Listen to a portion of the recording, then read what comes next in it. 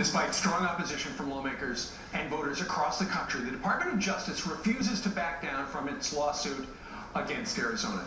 It's just the latest example of what some say is a federal government that is overstepping its authority and getting too big. But how can states limit the government's power, the federal government? David Rivkin is a constitutional attorney. He joins us right now from our nation's capital. Dave, good morning to you. To be with you, Steve.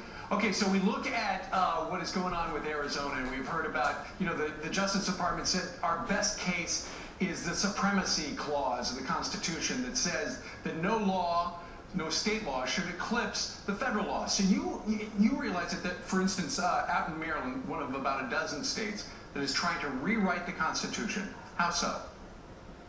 Well, they're seriously considering having a constitutional convention that would look at uh, the Constitution, which, by the way, has been amended uh, for uh, a number of times to see if they can come up with more fundamental revisions. And the point, Steve, it reflects a, a sentiment we see a lot around the country, which says, in addition to passing statutes, it, it pays from time to time to look at the most fundamental setup, which is the state constitution or the federal constitution, and come up with things that really cure the sure. problems that have arisen, including the one you mentioned, which is a lack of balance between federal and state authority. Right. So currently, the way the Constitution is set up is if two-thirds of the state legislatures call for a constitutional constitutional convention, they will have one.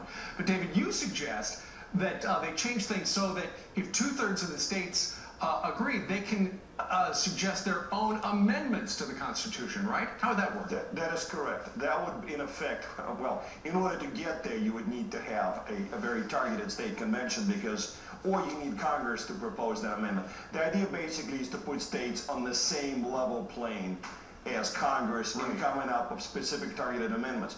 And to emphasize, this is very important, if states had this power today, you would put a real check, a deterrence, if you will, on the political class. I think, for example, Congress would have been less willing to push, for, for example, with unconstitutional health care reform if there was a way that the states could come back and revisit, for example, the Commerce Clause. Sure.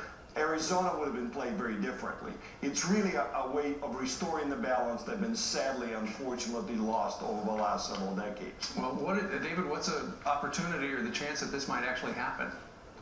I, believe it is going to happen. It's something that states ought to be taken seriously.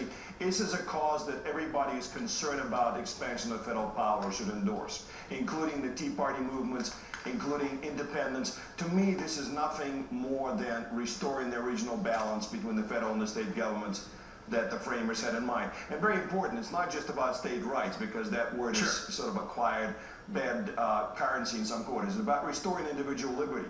Because remember, individual liberty is to be protected by balancing federal and state power, not just for the Bill of Rights. Interesting stuff. All right, David Rivkin, constitutional attorney. We thank you, sir, for joining us today from Washington. Good to be with you. Great to have you.